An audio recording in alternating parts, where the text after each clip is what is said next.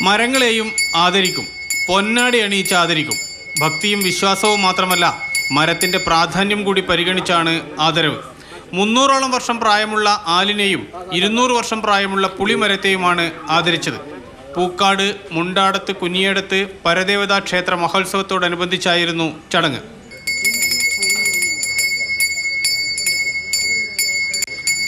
ഒരു പത്ത് തലമുറയ്ക്ക് മുമ്പുള്ള കാര്യങ്ങളൊക്കെ കണ്ട ഒരു മരമുത്തശ്ശിയാണത്. അതിനെ ആദരിക്കലും അതോടൊപ്പം അവരുടെ തറവാട്ടിനോട് ചേർന്നിട്ടുള്ള പറമ്പിലുള്ള വലിയൊരു പുളിമരമുണ്ട്. ആ പുളിമരത്തിന് പത്തിരുന്നൂറ് വർഷത്തെ പഴക്കമുണ്ട്.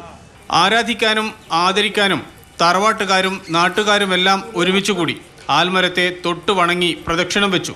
ഭക്തിക്കും വിശ്വാസത്തിനും അപ്പുറം ചില പാരിസ്ഥിതിക പ്രാധാന്യം കൂടിയുണ്ട് ഈ ചടങ്ങിന്. ഈ കാലത്ത് പ്രത്യേകിച്ച് പാരിസ്ഥിതികമായിട്ട് വലിയ നാശമൊക്കെ നേരിടുന്ന കാവുകളും അതുപോലെ നമ്മുടെ പ്രദേശത്തുള്ള ഒരുപാട് പ്രശ്നങ്ങളും നടക്കുന്ന ഒരു കാലത്ത് ഇതുപോലെയുള്ള മരങ്ങളെയൊക്കെ ആദരിക്കുന്ന പരിപാടി സംഘടിപ്പിച്ചത് വളരെയേറെ എടുത്തു പറയേണ്ടതാണ്.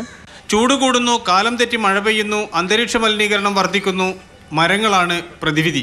അതുകൊണ്ട് മരങ്ങളെയും ആരാധിക്കും. അതാണ് സന്ദേശം. മാതൃഭൂമി ന്യൂസ് കോഴിക്കോട്.